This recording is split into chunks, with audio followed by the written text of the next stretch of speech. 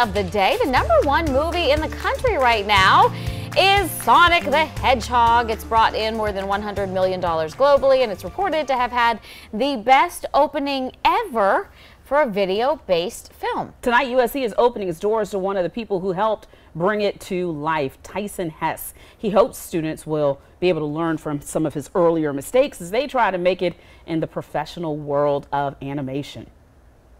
They are allowed to make mistakes um, and they are allowed to find themselves over a matter of years and they shouldn't be expected to graduate and land a job at Sega.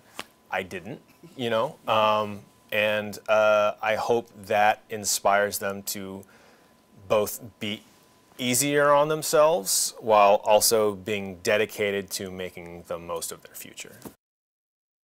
Well, Hesse is a graphic illustrator that helped in the movie, which is pretty amazing, especially considering it's number one. So the event starts in just about a half hour, 6 o'clock at the Russell House. It's free. It's open to the public. You don't have to be a student to go and enjoy it. So if you want to hear from the man that brought us Sonic the Hedgehog, which, mm -hmm. by mm-hmm. the way, I'm going to see on Saturday. Oh, cool. Mm -hmm, I mean, if you're close to USC, I wouldn't suggest, you know, you jumping in the car right now to try to make a 6 o'clock event. But go if you're close to USC, you have a child who loves drawing and illustrating and the idea of animation, this might be a nice little a mom and dad and child It'd field trip. event. And yeah. making money with your passion, I think, is a dream of everybody. Yeah. So, um, yeah, that's going on at 6 o'clock tonight.